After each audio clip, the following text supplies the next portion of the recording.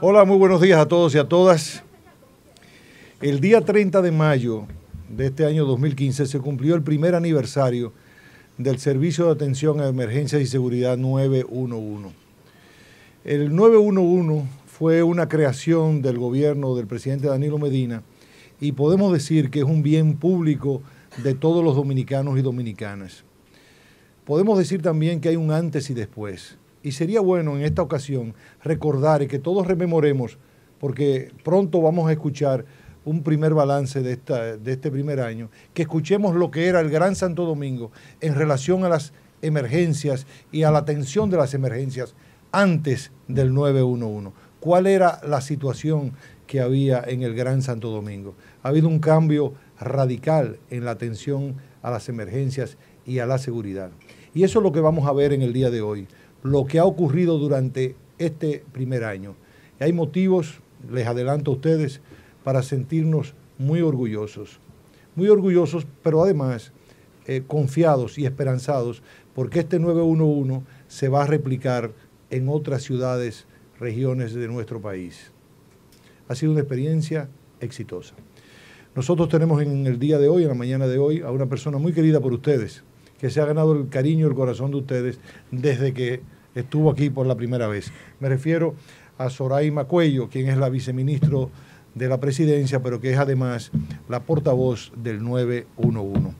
Ella nos va a contar toda esta historia y estas buenas cifras. De manera que es una alegría tenerte por aquí, Soraima. Muchísimas gracias y déjeme aprovechar para decir que el cariño es recíproco, pues porque también yo los aprecio mucho a todos los que están aquí presentes. Muchísimas gracias. Eh, primero que nada, eh, como bien señalaba el señor eh, Roberto Rodríguez Manchena, hoy vamos a estar presentando los resultados del primer año del Sistema de Atención a Emergencias y Seguridad 911. Y es por ello que el Ministerio de la Presidencia, como presidente del Consejo de este sistema, primero quiere agradecer a la ciudadanía la confianza que ha depositado en el mismo y a la vez felicitar a todas las instituciones que forman parte del sistema, pues justamente hemos logrado en un año salvar muchas vidas, miles de vidas y de bienes. Es motivo para todos de un gran regocijo contar con un sistema cuya eficiencia en garantizar la atención inmediata y gratuita en todos los casos reportados es indiscutible. Deseamos que los dominicanos y dominicanas se sientan orgullosos del mismo cuyos servicios han significado la diferencia entre la vida y la muerte para muchos de los dominicanos y dominicanas, sobre todo, y esto es muy importante, para la población de escasos recursos, quienes en la mayoría de los casos no tienen las condiciones para pagar entre 8 mil y 9 mil pesos que se requiere un traslado en una ambulancia en una situación de emergencia. Es por ello que deseamos compartir con ustedes los resultados de este novedoso sistema en el primer año de operaciones, donde hemos ofrecido las siguientes asistencias. Primero, 28.291 casos de condición crítica de salud, de personas en condiciones críticas de salud. 25.802 casos de accidentes, 24.871 casos de agresión física, 19.665 casos de violencia doméstica, 12.932 reportes de personas inconscientes, 11.363 casos de individuos con dificultad respiratoria, 9.395 incendios, 7.923 incidentes de caídas y otros vinculados a personas heridas, robos, crisis convulsiva, intoxicados, tiroteo, intento de suicidio, paro cardíaco, quemados, entre otros. Esto arroja un gran total de 235.565 eventos de emergencia para los cuales se ha requerido el despacho de 386.528 asistencias de las diferentes agencias de respuesta de los cuales, de estas asistencias, el 31% correspondieron a casos en el Distrito Nacional, el 30% a Santo Domingo Este, el 16% a Santo Domingo Norte, el 15% a Santo Domingo Oeste y Pedro Bram, el 6% a los Alcarrizos, el 2.5% a Boca Chica y un 0.4% al municipio de Guerra. En adición, como todos ustedes saben, desde el 15 de enero de este año se inició un nuevo servicio de atención a la contaminación sónica. Eh, fue un nuevo servicio muy bien recibido, con mucha alegría, por toda la ciudadanía. Al día de hoy, no al día de hoy, al 30 de mayo, se ha asistido 50.726 denuncias de ruido y esto ha implicado la incautación de 3.351 cajones y 4.849 bocinas. Aquí se puede ver el resultado que ha tenido este eficiente servicio. Por otra parte, es bueno señalar que el sistema ha venido enfrentando numerosos desafíos, como todos los sistemas de esta naturaleza a nivel mundial, siendo uno de los nuestros la reducción de las llamadas molestosas, silenciosas, colgadas o reportando falsas emergencias. Queremos que la población sepa nueva vez que se han tomado las medidas correspondientes y se han llevado a cabo numerosos procedimientos legales en contra de aquellos infractores que incurrieron o incurren de alguna manera en un uso inadecuado del sistema, poniendo en riesgo las vidas y el bienestar de quienes realmente necesitan las atenciones del 911. Lamentablemente, de las llamadas recibidas durante este primer año en el sistema, el 57% fueron llamadas silenciosas y el 24% llamadas colgadas, con un total de 4.252.942 llamadas sin un propósito definido. De estas, se han tomado medidas por el Ministerio Público, habiéndose trabajado a la fecha 701 casos de líneas telefónicas con más de 10 llamadas reincidentes de las cuales 239 tienen expedientes en los tribunales y 464 personas han sido investigadas y fueron sometidas a criterios de oportunidad y se ha logrado una sentencia como todos ustedes conocen. Queremos enfatizar que el tiempo ocupado en una llamada molestosa o en determinar si una llamada silenciosa es o no una emergencia significa la utilización de recursos que podrían invertirse en una situación que en realidad lo amerite, por lo cual, con el apoyo de todos los dominicanos y dominicanas, así como los extranjeros usuarios del sistema, esperamos reducir la cantidad de llamadas de este tipo a su mínima expresión hasta lograr su desaparición total. Por otra parte, el 911 ha significado una transformación radical en materia de seguridad ciudadana en el Gran Santo Domingo. Prueba de esto son los registros de incidencias que han sido detectadas gracias al moderno sistema de videovigilancia urbana con que dispone el 911 cuyas cámaras se encuentran estratégicamente ubicadas en todo el Gran Santo Domingo y que ahora, al tener el primer año, podemos reportar que se han capturado 52.864 eventos, desde infracciones de tránsito hasta robos y atracos. Esta información es manejada por la Policía Nacional y el Ministerio Público y sirve para esclarecer diversos crímenes que sin esta evidencia probablemente quedarían sin una solución eficaz. Después de un año de arduo trabajo 24 horas al día, los 7 días de la semana, nos es grato anunciar que el 88% de los usuarios atendidos por el sistema ha expresado estar satisfecho en sentido general, mientras que el 92% de los mismos expresa estar satisfecho con el trato brindado por el personal de respuesta. Quiero recordarles que todos los días se hace un monitoreo permanente de la calidad de los servicios y se evalúa la satisfacción de los usuarios del sistema pueden estar seguros que seguimos trabajando para mantener esta alta valoración por parte de los ciudadanos y además con el objetivo que nos impulsó desde el inicio de este proyecto y que aún hoy es la razón que nos mueve día a día, que es la de salvar vidas, facilitar la convivencia y sentar las bases de una nueva cultura del servicio público. En adición a estos datos, yo tengo aquí algunos ejemplos de los casos que se han estado manejando en el 911 en el día de ayer, solo para ponerles un ejemplo de la diversidad de situaciones que en el 911 se reportan y se manejan. Ayer, a las 3 y 55 de la tarde, se reportó una niña de un año de edad que es asistida tras presentar sangrado en un ojo izquierdo, producto de una herida con una varilla. Esta madrugada se origina una riña entre dos bandas, resultando dos personas heridas de almas blancas, un joven de 20 años y otro de 17 años. Eso fue hoy a la una de la mañana. Por otra parte, se le brinda asistencia en el día de ayer a una fémina de 19 años de edad con 7 semanas de gestación al presentar un estado inconsciente, que es un paciente con antecedentes personales de preeclampsia. Eso fue ayer a las 4 y 45 de la tarde. Ayer también se reporta una persona que resulta fallecida tras tirarse al mar para bañarse con un compañero. Eran dos jóvenes que estaban en una competencia. Uno de ellos, el 911, logró sacarlo con vida. Eh, tendría eh, síndrome por inmersión y crisis hipertensiva y el otro ya había fallecido cuando llega a la unidad. Esto ocurrió a las 6 y 14 de la tarde.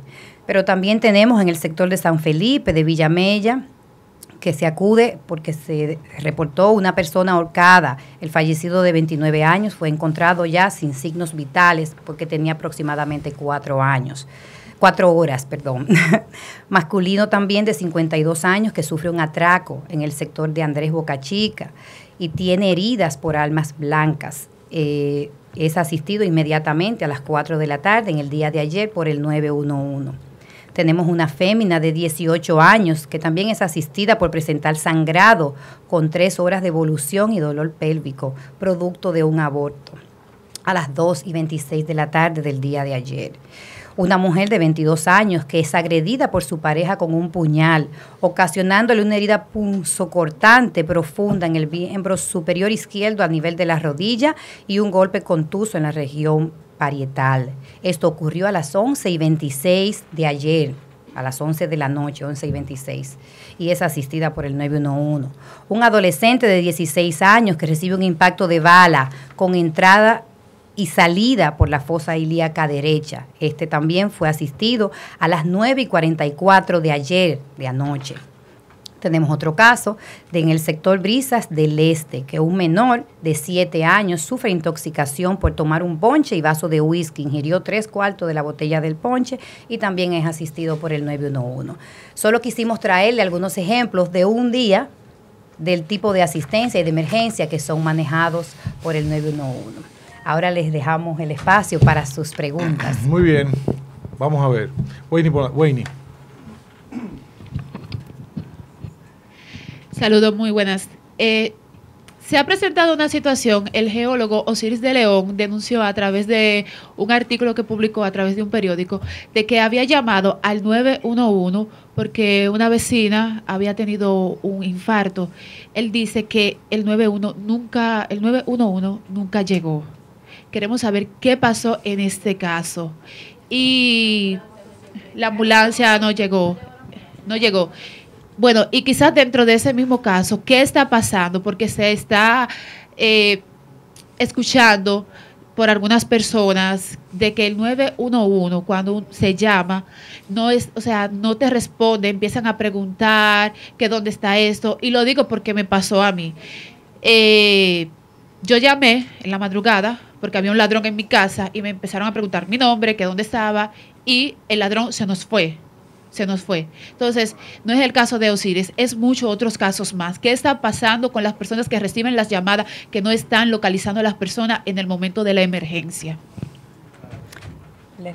sí, sí, sí. Muchísimas gracias por la pregunta.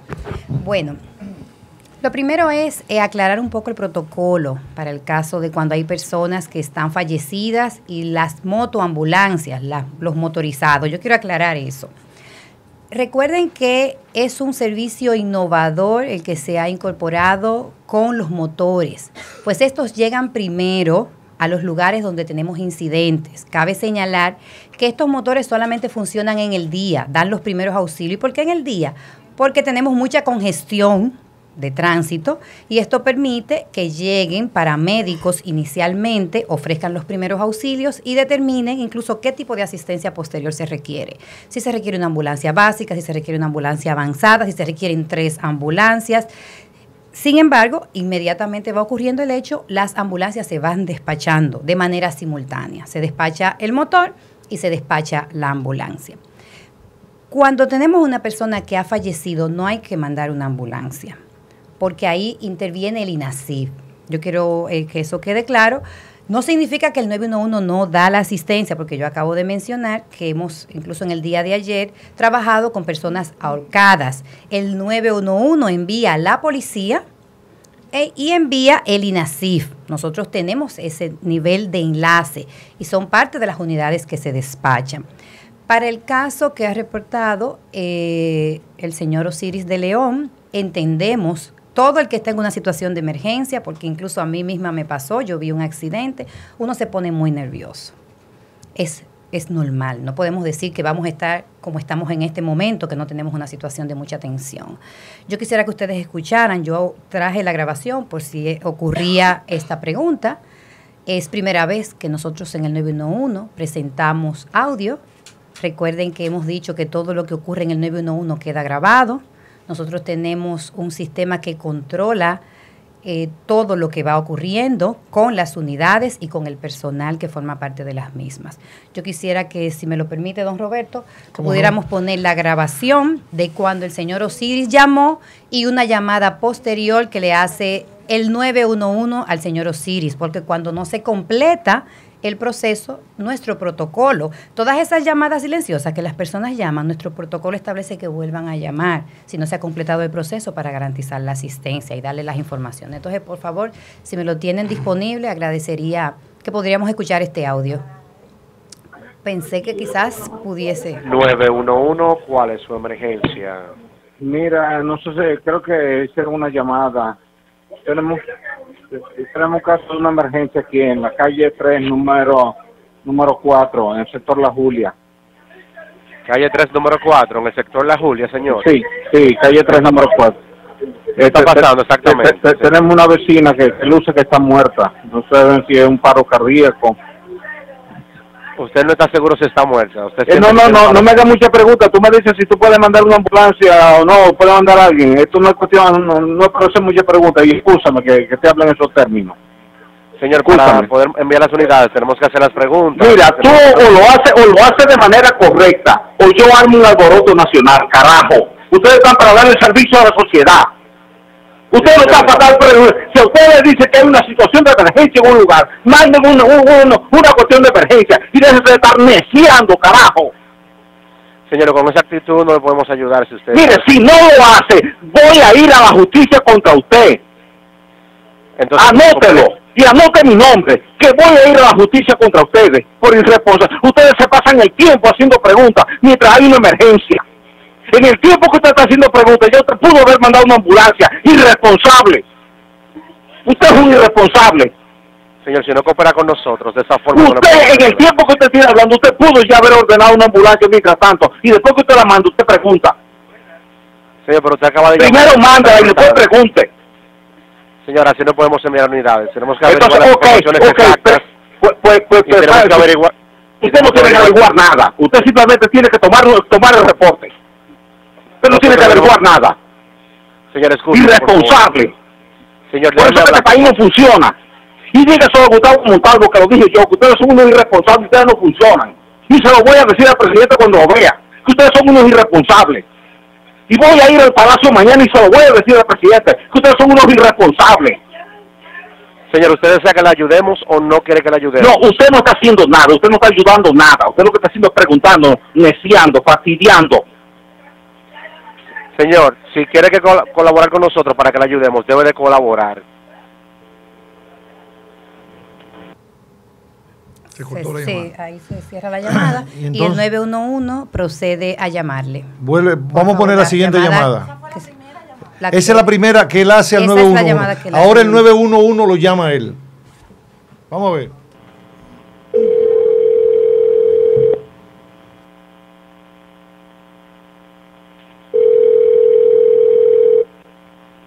Aló. Bueno, le habla David Guzmán del Sistema Nacional de Emergencia 911. Sí. ¿Tienen alguna emergencia que reportar, señor? Que nos estaba sí, reporté una emergencia y tuve que hablarle mal a un señor ahí. Tenemos una, una situación que, que una señora que, que no sabemos si es un paro cardíaco que tiene, caramba y uno llama y reporta y viene un necio a estar haciendo preguntas innecesarias cuando lo, que él debe preguntar es tema la dirección para mandarle una emergencia, una ambulancia de emergencia, carajo. Señor, eh, vamos a convalidar a ver si es un caso que usted había llamado anteriormente de la Julia. Eso está cerca del restaurante Saba. Sí, eso mismo. En la Torre Ibet. Pero tenga la seguridad de que voy a hacer la denuncia pública de lo que pasó ahorita. La voy a hacer de manera responsable. Y cuando vea al presidente se lo voy a decir. Y cuando vea a Gustavo Montalvo se lo voy a decir. Sí, escúcheme por favor para saber si es este, para averiguar si estamos convalidando las direcciones. Este está donde está el restaurante Saba y también está en la Torre Ibet, cuarto piso. En la Torre Ibet ya, en la, Torre Ibet. Entonces debe de esperar las unidades que se están acercando al lugar, porque ya tienen ese, eso estaba reportado, señor, hace tiempo. Le agradecemos que no haya llamado, señor. ¿Con quién hablamos? ¿Con quién hablamos? Se cortó como ustedes saben, existe un protocolo básico que ha sido revisado eh, con organismos incluso internacionales, siguiendo normas internacionales que son fundamentales para poder determinar el tipo de asistencia que se envía. Y si no, no se reciben, eh, es prácticamente imposible que el personal del sistema pueda dar el servicio. Yo quiero que ustedes tengan el firme convencimiento de que tenemos un equipo entrenado, que no se ha escatimado esfuerzos por parte del gobierno para mejorar cada vez más todo lo que es el servicio, para revisar si es necesario los protocolos de actuación y justamente desde el inicio lo hemos dicho, hay un sistema permanente de monitoreo de todo lo que va ocurriendo dentro del sistema. Todo queda grabado y si alguien actúa de manera inadecuada tiene consecuencias, porque ustedes eh, pueden verlo. Entonces, es básicamente un protocolo fundamental y ahí ustedes eh, tienen las incidencias de ese caso de manera específica. Perdón, perdón, que tenemos las Catherine. Es que están las otras compañeras y después Dominga. Bueno, yo, yo entonces iría a romper la línea porque mi pregunta va en los números que, que dio Soraima Cuello cuando habló de que más de 4 millones de llamadas molestosas recibió el 911 en este año de funcionamiento. Usted las desglosó que era el 57% que se habrían quedado eh, callados. Silenciosas. Ajá, y el otro por ciento no... 24, 24%. Un 24 que... Colgadas. Que eran colgadas. Yo quiero saber... Las que faltan, perdón, son menores, eh, son las eh, de burlas o insultos. Eso suma eh, un 120 mil 20 más o menos, eh, ya, más o menos no, 120 mil 20 llamadas por burlas o insultos que se han producido al sistema. Entonces son más de 4 millones de llamadas molestosas y cuántas sí con verdaderas emergencias. Eh, son 4 millones 252 mil 942 llamadas molestosas y llamadas le voy a buscar ahora de manera exacta el dato, hay que separar que hay unas llamadas que si bien no son molestosas, son llamadas donde la persona entiende que es una emergencia y también llama, que no necesariamente es una llamada molestosa. De llamadas para casos de emergencia son 235.565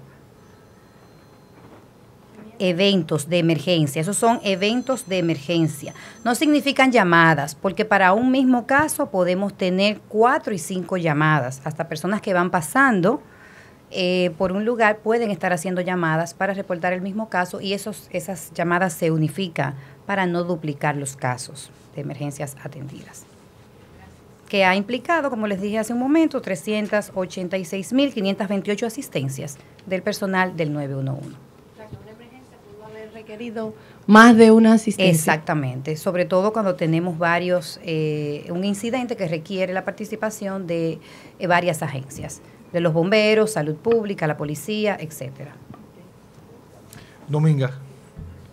Buenas tardes. Eh, mi pregunta va, eh, volviendo otra vez a lo de a lo de Osiris, a raíz de esto, eh, pues eso se ha analizado en algunos programas de radio y la gente ha estado llamando para hablar en el mismo tenor y otros, claro, para hablar de las bondades del sistema. Entonces mi pregunta va en el sentido de ¿Cuántos equipos, cuántas unidades de emergencia, de atención a emergencias tienen ustedes por zona?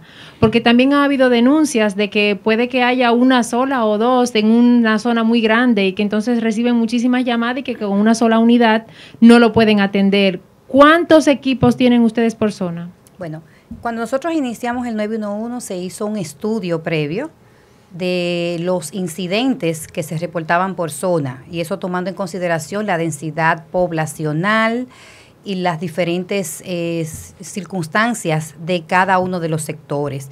También se tomaron en cuenta los índices de criminalidad de los barrios y sectores para decidir por cuadrantes cuántas ambulancias, cuántas eh, patrullas de la policía, etcétera, se requerían. En este momento el sistema cuenta con 50 ambulancias en el Gran Santo Domingo. Eso es lo que se ha entendido con la OPS que ha estado colaborando, que son la cantidad, que son la, cantidad de, de, ambulancias necesarias. Sin embargo, tenemos unos 5.250 agentes de la policía en el Gran Santo Domingo también, que son los que dan la asistencia. Como dije anteriormente, no le puedo decir en este sector hay dos, en este sector hay cinco, porque todo depende de la dificultad para llegar, de la densidad poblacional, de las tasas. Fue un, trabajo realmente hecho con datos y estadísticas para garantizar una respuesta en el menor tiempo posible. Estos datos se están revisando de manera permanente, pero hasta este momento la cantidad es suficiente. Cabe señalar que hay días picos. Los fines de semana y en horas de la noche y la madrugada tienden a ser horarios eh, muy fuertes donde se dan muchos más emergencias. Y también ahí se hace un rejuego con las unidades. Pero es evidente que no todos los días tenemos el mismo comportamiento de las emergencias. Bien. Sorange.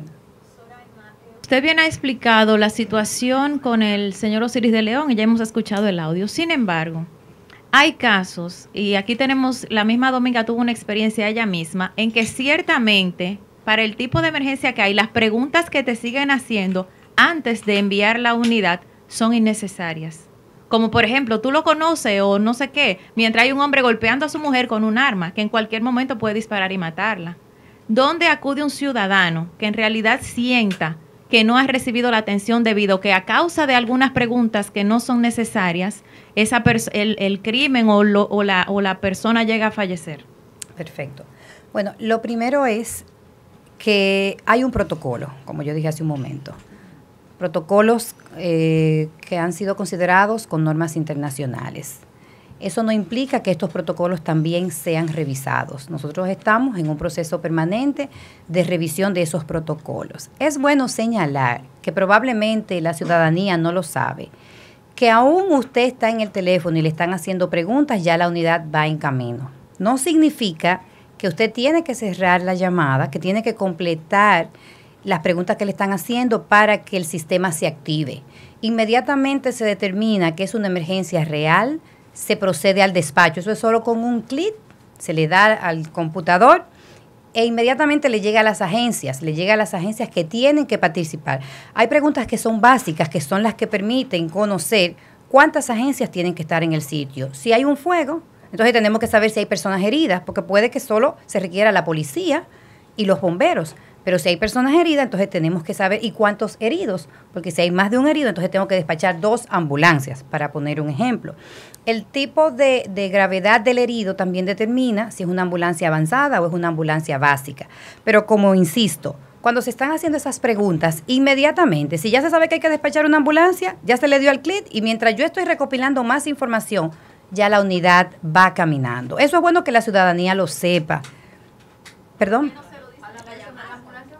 Incluso sí. eso que pasó con Osiris de León se hubiese ahorrado. Simplemente le voy a seguir tomando preguntas, pero ya despachamos una unidad. ¿Eso no está en el protocolo? Sí, está en el protocolo. Claro que sí, pero ahí no se llegó a determinar, porque lo que le preguntaba el operador es si la persona estaba viva o fallecida, porque es diferente el accionar si es una persona viva o fallecida. Pero, como ustedes también saben, llegó la parte motorizada porque como les digo, se manda una unidad. Es básicamente para garantizar el servicio completo, integral de todo lo que se requiere en el lugar donde se está dando el incidente.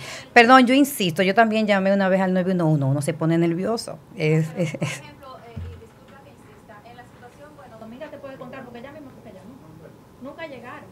¿A cuál?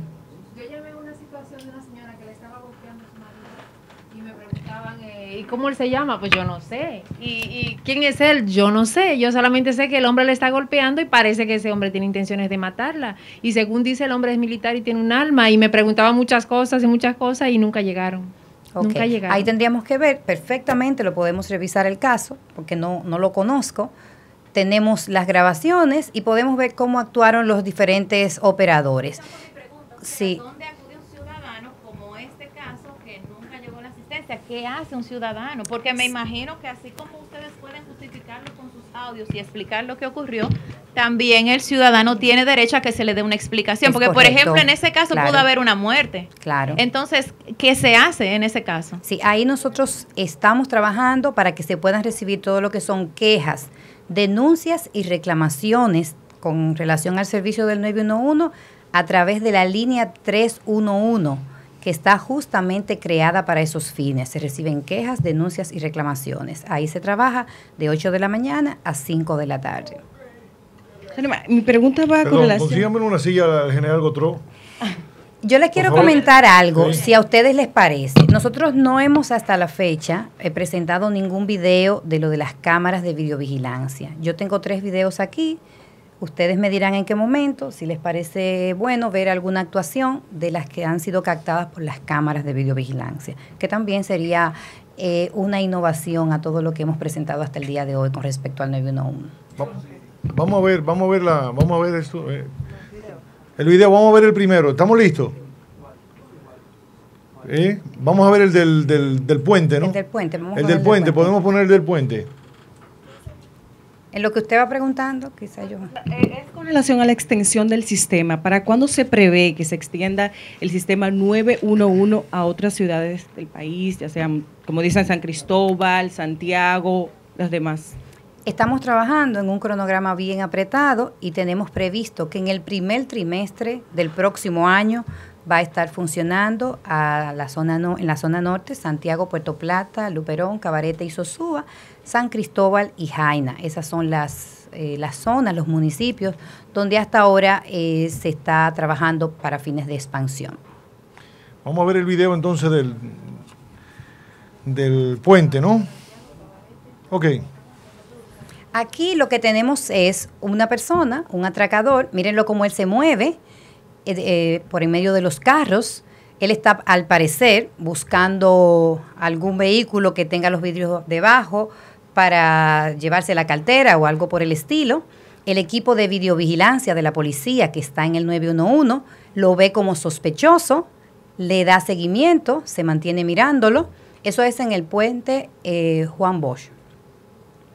Y aquí, si lo puede avanzar un poquito más, como ustedes se imaginarán, nosotros tenemos toda la grabación porque son cámaras que están de manera fija y permanente en esos sitios. Él va caminando eh, por en medio de todos los vehículos y pasa ahí en un tiempo de algunos 10 minutos verificando entre vehículo y vehículo. Pero ¿qué ocurre? Que él ve unas jóvenes que suben al puente peatonal. Y ahí donde se ve rápidamente cómo él corre hacia el puente peatonal para atracar a las dos personas, a las dos damas que han subido al puente. ¿Qué es lo importante en este caso? Cómo desde la videovigilancia urbana que se está dando en el Gran Santo Domingo, el que menos se lo imagina está siendo observado para que si comete un tipo de acto delictivo, ahí mismo llega la policía. Como nosotros lo estamos viendo desde el 911, ustedes van a ver en un momentito, si lo avanzan, Vamos a ver. Eh, eh, cómo él sube, atraca a las jóvenes y desde el mismo sistema de videovigilancia del equipo de, monitoreo de las cámaras se despacha inmediatamente el servicio de la policía. Pero se despacha a la policía, se despacha a salud, no tiene necesariamente que generarse una llamada. En muchos casos, mírenlo ahí, él va, vamos a ver si ya va, subiendo.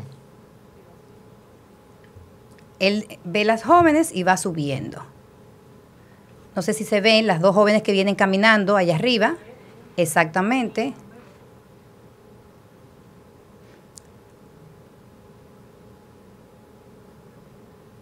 Las atraca y se va por el otro lado. ¿Qué es lo importante en este caso? Que ya el equipo de la policía lo vio y manda las unidades de la policía. Cuando él baja de este otro lado, ya la policía están ahí debajo esperándolo.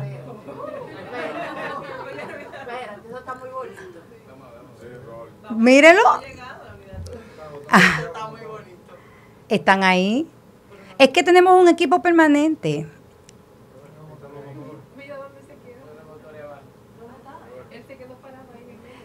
Ay, que ustedes pensaban que no estábamos haciendo lo que nunca se había hecho en la República Dominicana.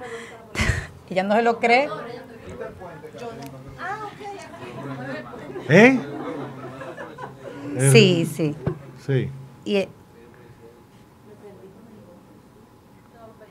no, lo que pasa es que hay varias cámaras, hay varias cámaras que están desde diferentes ángulos.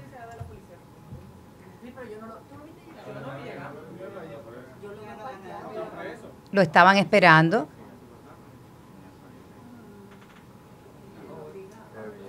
Bien, tenemos, tenemos otro, ¿verdad? Vamos a ver el del robo en el colmado. En el, vamos a ver el robo. Ay, que estamos haciendo lo que nunca se había hecho en materia de seguridad. Le quisimos traer algunas pruebitas.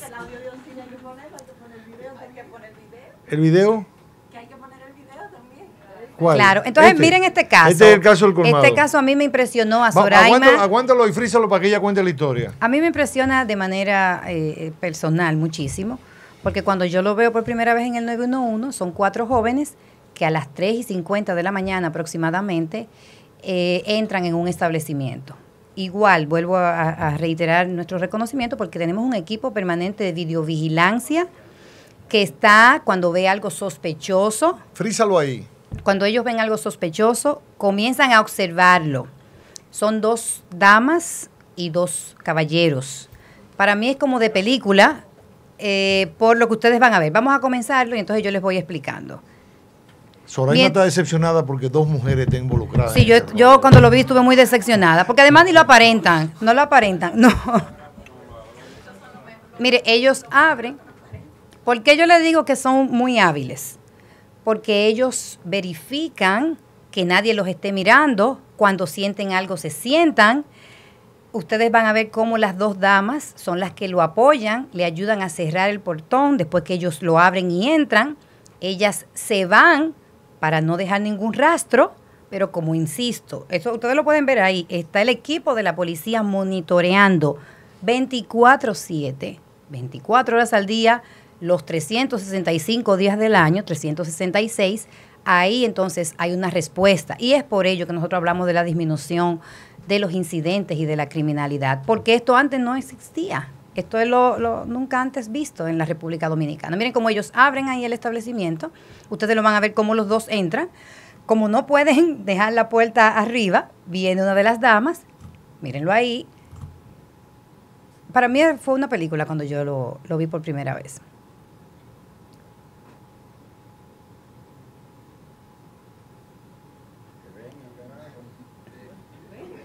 Ayúdame a bajar esto. Exacto. Aquí ustedes ven una ya. Miren, miren la distancia de la cámara, que eso es importante ahí para que ustedes tengan una idea del nivel de resolución y el nivel de acercamiento. Eh, ¿qué otro? En Cristo Rey. Ella, mire cómo se va, van caminando. Ya la policía que lo ha visto despacha el equipo de la policía. Ellos le van diciendo vía radio, tienen que ir y seguir a esas dos jóvenes que van ahí, porque si usted la ve, no aparentan dos delincuentes, están caminando en la calle.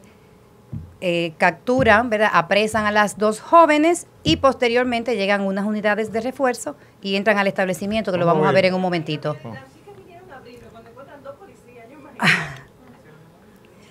Entonces, ahí ustedes ven cuando la montan, a las jóvenes, ellas ahí la, la montan en la, la patrulla de la policía, y entonces llegan otros refuerzos de la policía y entran al establecimiento. Vamos a verlo en un momentito.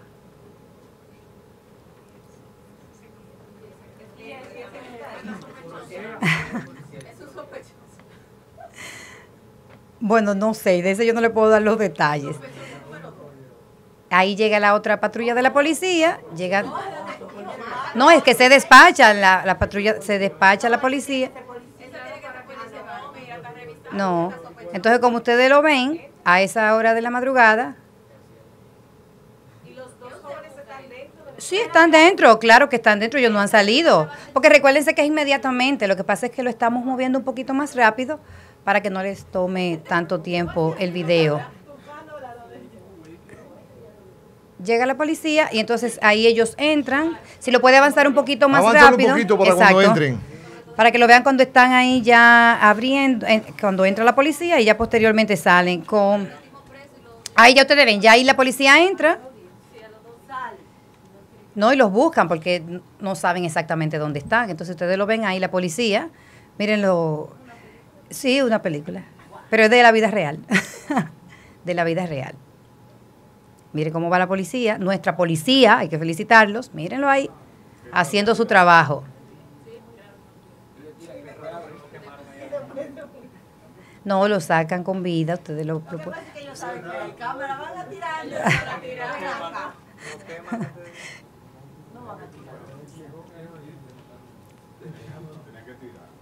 Bueno, y tenemos otro video también de un accidente. Ah, bueno, termínelo cuando entre, que ellos quieren ver cuando saquen a los jóvenes. Ah, no, perfecto. El final de llévame, llévamelo cuando sacan los jóvenes.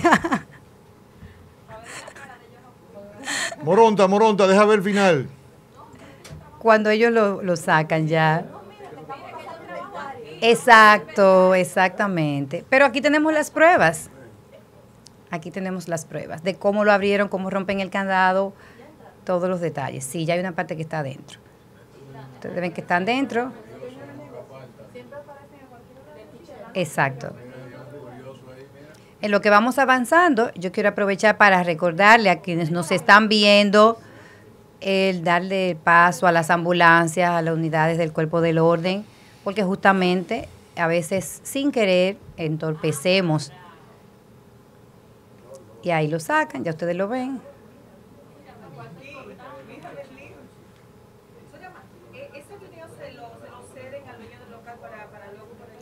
No, se solicita se solicita al fiscal que está llevando a cabo el, el, expediente, que está trabajando con ese caso, y entonces ellos lo reciben directamente del mismo Ministerio Público que está en el 911. Recuerden que nosotros tenemos una unidad especializada en el 911 conformada por la Policía Nacional y el Ministerio Público, que también trabajan 24/7. Y tenemos todos esos casos donde hay incidentes que pueden ser utilizados, se sacan aparte y son entregados a los diferentes fiscales que están llevando a cabo las investigaciones. Y se utilizan, claro está, eh, como elementos probatorios de las violaciones. ¿Cuántos casos? Bueno, en total, evitados. Bueno, yo déjenme ver si tengo aquí el... Yo le puedo decir. Si vamos poniendo el otro, el otro incidente, por favor. ¿Este es de los motores? Sí, el de los motores. Yo les puedo ir diciendo así de manera rápida porque tenemos todo esto, estadísticas. Tenemos de riñas 437 casos, de juegos ilícitos 137 casos, de personas en vehículos sospechosos 1.114 casos, eh, de arrestos, que han tenido personas que arrestarse 281 casos. Ya tenemos en Q los motores. Ah, perfecto, vamos a verlo. Entonces, vamos a ver los motores. Aquí es un accidente, entre dos motores, exactamente. Ahí eh, tenemos una situación exacta. Este es Chuchil con 27. Chuchil con 27.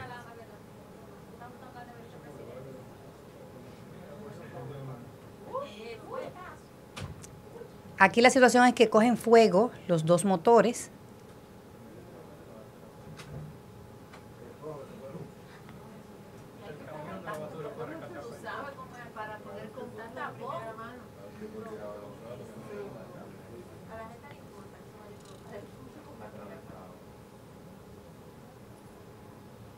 ¿Y qué, qué ocurre aquí entonces?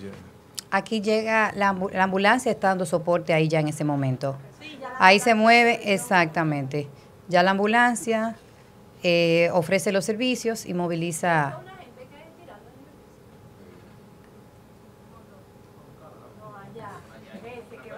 Ustedes lo pueden ver ahí. Pero así tenemos, como yo les acabo de decir, 52 mil casos que han sido ya identificados. Pero no solamente de este tipo, sino eh, violaciones a las leyes de tránsito y demás. Quizás si quieren hacer alguna otra pregunta. ¿Alguna otra pregunta? Adalberto. Muy preocupante todavía la cantidad de llamadas molestosas. Estamos hablando de 4 millones y pico, 4.2 millones de gente que está molestando al sistema. ¿Qué, piensa o qué, cuáles son los planes del sistema para evitar esto o, tomar medidas para que esto no siga ocurriendo? Porque son más las llamadas molestosas que las realmente las emergencias. ¿Qué se está haciendo para eso? Bueno, estamos trabajando en diferentes direcciones. Lo primero es que nos estamos reuniendo con las empresas telefónicas. Ahora se van a incrementar las sanciones. Lo primero es que hasta hace un tiempo se suspendían las llamadas molestosas a partir de 10 llamadas reincidentes al sistema. Ahora lo estamos reduciendo a 5. Desde que un número tiene 5 llamadas molestosas, se está suspendiendo la posibilidad de acceder al 911.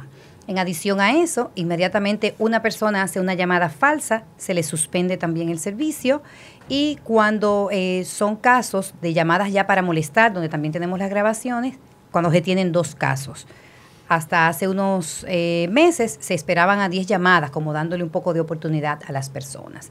Pero en adición a esto, se está trabajando en una nueva campaña educativa, una campaña que va a permitir que los ciudadanos hagan más conciencia, pues en muchos casos de las llamadas silenciosas se ha podido identificar que a las personas se les llama se les marca, perdón, el teléfono en la cartera, en los bolsillos de los pantalones, etcétera. Entonces, vamos a comenzar a hacer un proceso eh, educacional para que las personas bloqueen sus celulares. Y aprovechamos esta oportunidad para sugerir, para recomendar, para hacer un llamado, para que justamente todos los que tenemos celulares, que lo bloqueen, lo bloqueen inmediatamente, porque se le salen las llamadas, se le marcan sin querer, se le, se le marcan a un amigo, se le marcan al 911 y ahí ya estamos eh, creando dificultades importantes, como acabamos de mencionar, en cuanto a lo que es incluso la congestión de las líneas posibles en el sistema. Hasta el momento eso no ha ocurrido, pero sí pudiéramos estar perdiendo la oportunidad de que personas se salven a través de una llamada. Entonces, estos son los pasos que se están dando.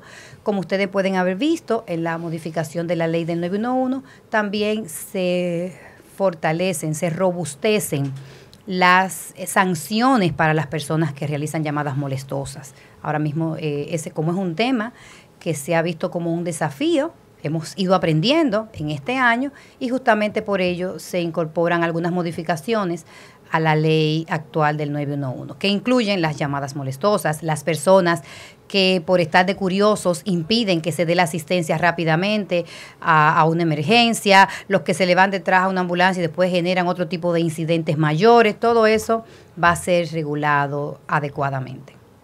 Muy drástico el asunto de que una sola llamada eh, se bloquee. Con una sola llamada se le bloquea el servicio es, una llamada falsa. Las llamadas falsas son las que generan un desplazamiento de todas las unidades. Nosotros tuvimos la semana pasada una señora que reportó un, un supuesto incidente y cuando llegaron todas las unidades, lo que la señora dijo era que ella nunca había visto todas las unidades del 911 juntas y que ella Exacto, ya las quería ver. Entonces ella llamó al 911. Pero ¿qué ocurre? Justamente usted está desplazando todas esas unidades y está dejando probablemente que otros tengan que esperar un rato en los que nos movemos de un lugar a otro. Entonces es un, un problema grave de falta de conciencia de algunos ciudadanos con el que tenemos que trabajar. Esas llamadas que son falsas, que incluso tienen un costo para el Estado Dominicano, que estamos desplazando un equipo especializado, eh, van a tener ya sanciones eh, superiores, porque además usted lo hace de manera consciente. Yo quiero, permítame, permítame decir algo. Permítame decir algo. Yo recuerdo que para esta fecha del año pasado, en el mes de junio, porque hicimos, hicimos encuentro con los medios, con ustedes, inmediatamente después, en varias ocasiones, que lo que predominaba, lo que primaba entre todos nosotros y en el pueblo dominicano era la duda de si el 911 iba a funcionar Y yo recuerdo la cantidad de expresiones en medios de comunicación, en la calle, de que los dominicanos éramos genéticamente incompetentes para manejar el 911, que eso eran los blancos rubios de ojos azules de fuera que podían manejar el 911. Es decir, nosotros no teníamos la seguridad en nosotros mismos de que éramos capaces de montar el sistema 911. Lo recuerdo perfectamente. Eso no va a funcionar en este país, lo recuerdo. Y el hecho es que un año después ha funcionado. De que es perfectible, por supuesto que todo es perfectible en la vida, porque no somos dioses, pero de hecho ha funcionado. Y lo que la gente quiere es que se expanda, que haya más. Es más, debo recordar, otros países, de otros países, han venido aquí a aprender del nuestro, del nuestro. Y es importante que ustedes, que recordemos aquí también, el cambio cultural que significó para la policía, para AMET, para las emergencias de los hospitales, para los bomberos. Es decir, ha habido una transformación, todavía no suficiente, por supuesto, de la policía de la MET, de los sistemas de, recepción en emergencias, de los hospitales, de los bomberos que por primera vez eh, han, vuelto a tener un camión de bomberos. Porque yo recuerdo el de Pedro Brand cuando lo, lo mostraron. Aquello era para guardarlo en un museo. ¿Eh? Y tiene ahora un, un vehículo de bombero nuevo. Entonces, también el 911 ha significado el inicio de la transformación de la cultura de servicio en varias instituciones, en la policía, en AMET, en los bomberos, en los hospitales de nuestro país. Y eso es un mérito del 911. Yo creo y les quiero pedir que esta situación alarmante de llamadas eh, molestosas o sin, un, sin ningún objetivo definido, dicho generosa y, amablemente por la gente, eh, llamadas, ¿verdad?, eh, que uno, uno siente el deseo de, de mayor castigo, uno tiene que preocuparse óigame, de 4.252.942 llamadas sin propósito y que solo efectiva 235.565. Eso es una vergüenza para nosotros como ciudadanos. Es decir, el gobierno está haciendo su parte. Esta gente que está trabajando en el 911 haciendo su parte. Ustedes han visto las historias que hemos contado. Y que entonces una gente llame, mira, tú tienes pizza de tomate queso con... Oye, por Dios, hay llamadas así.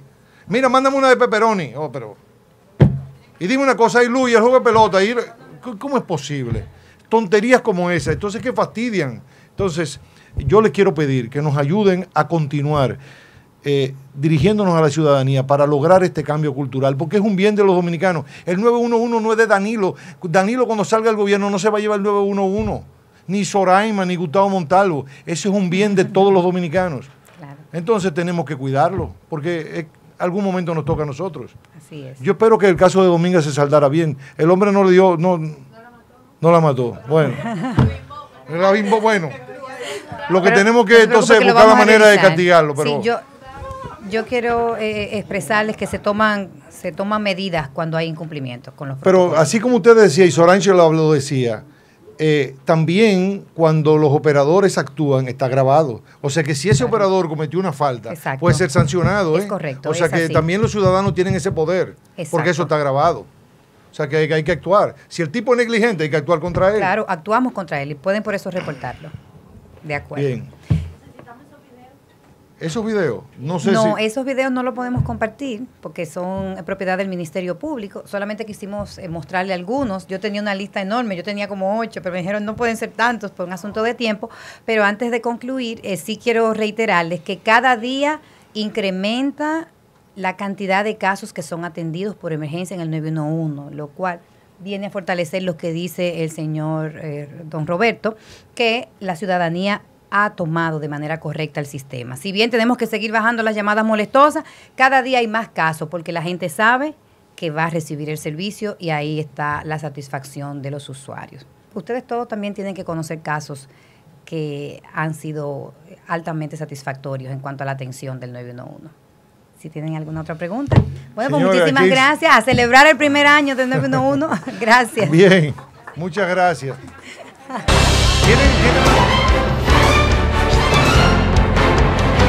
Vamos a vivir un cambio radical en la respuesta a las emergencias. Por primera vez en nuestra historia tendremos una central que unificará a todos los servicios de atención en un teléfono único y gratuito. El 911 del Sistema Nacional de Atención a Emergencias y Seguridad.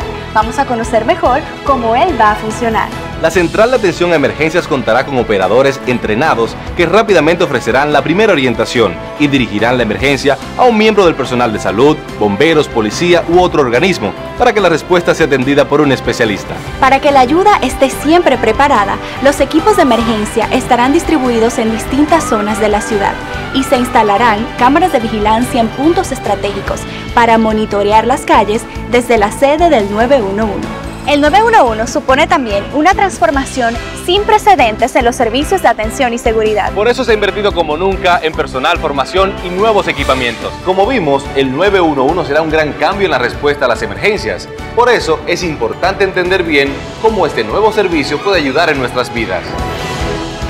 Hola, quisiera saber en qué tipo de situaciones debo llamar al 911. El servicio del 911 debe de ser utilizado en situaciones de emergencia por ejemplo, un accidente de tráfico grave, un incendio, una emergencia de salud o una actividad criminal. Por otro lado, no es necesario llamar al 911 en caso de un accidente de tráfico leve, un poco de fiebre, un gato subido a un árbol o un vecino que pone la música muy alta. Si alguien hace una llamada falsa al 911, ¿qué es lo que pudiera pasar? Para que el 911 pueda estar al lado de los dominicanos cuando más lo necesiten, es importantísimo que todos hagamos un uso responsable del mismo. Ocupar la línea con un uso indebido puede significar que una emergencia real quede sin atender. Por tanto, no lo olvides, hacer una llamada falsa al 911 no es un juego y puede poner en peligro la vida de otras personas. ¿Habrá algún tipo de castigo para quien haga llamadas falsas? Puedes estar seguro de que sí. Desde que se ponga en marcha el 911, se pondrá también en marcha un sistema que identificará las llamadas molestosas y establecerá las sanciones correspondientes. Este tipo de acciones constituye un peligro para la seguridad y la salud de nuestra población y no podemos permitir que ocurra. El 911 será el principio de una nueva cultura del servicio público, rápido, eficiente, moderno y para todos. Nunca más vamos a estar solos cuando un ser querido o nosotros suframos de un accidente, seamos víctima de un delito o veamos nuestra casa en peligro por un incendio o una inundación. Tendremos a nuestro lado, juntos y preparados, todos los servicios públicos de emergencias para asistirnos cuando más lo necesitamos. Todos, en, un, solo, número. El 911. 911. Todos los servicios de emergencia en un solo número. Gobierno de la República Dominicana. Hora de hacer lo que nunca se ha hecho.